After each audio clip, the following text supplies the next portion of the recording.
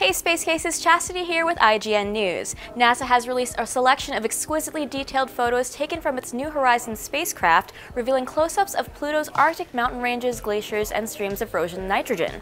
This breathtaking photo, taken just 15 minutes after New Horizons' closest approach to Pluto on July 14th, reveals the smooth icy plain Sputnik Planum towards the right, with rugged mountains up to 11,000 feet high flanking it to the west. Also visible are over a dozen layers of haze in Pluto's atmosphere, extending to at least 60 miles above Pluto's surface. New Horizons principal investigator Alan Stern said on the NASA blog, This image really makes you feel you are there, at Pluto, surveying the landscape for yourself. But this image is also a scientific bonanza revealing new details about Pluto's atmosphere, mountains, glaciers, and plains.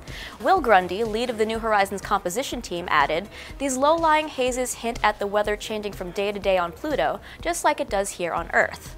The new images provide evidence for an Earth-like hydrological cycle on Pluto, which involves soft and exotic ices such as nitrogen, rather than the water ice we have here on Earth. In the close-up of Sputnik Planum, the icy plain appears to have been blanketed by these ices. For further information and more stunning photographs, be sure to check out NASA's post. New Horizons' next flyby target is a small Kuiper Belt object known as 2014 MU69. And for all your space news, stay tuned to IGN.